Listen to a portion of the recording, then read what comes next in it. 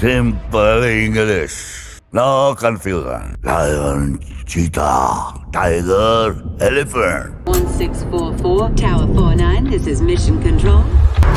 कौन है ये लोग मैं अतीत में जाऊँगा मेरे साथ कोई नहीं है मैं अभी आया अरे आगे आप लोग प्रोजेक्ट के इसका छोटा सा टीजर तो आप लोग देख ही चुके हैं चलो बातें ज़्यादा ना करते करते इस वीडियो का रिव्यू आपको बता दो प्रवास के अगले महीने दो बड़ी फ़िल्में रिलीज़ हो रही हैं नंबर पहली है और दूसरी प्रोजेक्ट के।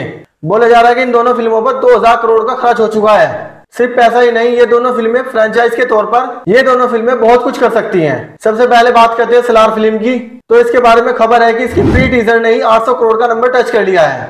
इसके ओटीटी राइट 200 करोड़ की बिकने की तदार में है। म्यूज़िक राइट सेटेलाइट राइट और इन सबको मिलाकर 800 करोड़ का दाम लगाया है। अगर ये फ़िल्म केजीएफ यूनिवर्स का पार्ट हुई तो एक ऐसी फ्रेंचाइज बन जाएगी जिसका एक तगड़ा फ़ैन बेस मार्केट में घूमेगा। हो सकता है न्यू कैरेक्टर की न्यू सीरीज़ ओटीटी पर बेची जाए। बात करें प्रोजेक्ट के की, नाग अश्विंद की ये मूवी महाभारत के कैरेक्टरों पर बेस बताई जा रही है, जिसमें एक सिंगलर स्टोरी के साथ आगे बढ़ा जाएगा। बताया जा रहा है कि प्रोजेक्ट के के मेकर्स को अपनी फ़िल्म पर इतना ज़्यादा कॉन्फिडेंस है कि वो इसको कॉमिक कॉन तक की पहुँचाने की तैयारी में है। इक्कीस जुलाई सन 2024 को इस फ़िल्म का नाम टीजर लुक सब कुछ रिवील कर दिया जाएगा। अगर फ़िल्म महाभारत पर बेस हुई ना तो इसके मल्टीपल भी रिलीज़ हो सकते हैं। दूसरा, अगर सलार एक ब्लॉकबस्टर हुई तो इस फ़िल्म के ऊपर भी उस फ़िल्म का असर देखने को मिलेगा। और इसकी मार्केट वैल्यू भी और भी ज़्यादा बढ़ जाएगी। लेकिन लास्ट सवाल यही है कि ये दोनों फ़िल्में कितनी सक्सेस हो पाएँगी? क्योंकि सक्सेस का पैमाना पैसा ही नहीं होता। वो वैल्यू होती है जो आप अपनी ऑडियंस को देते हैं।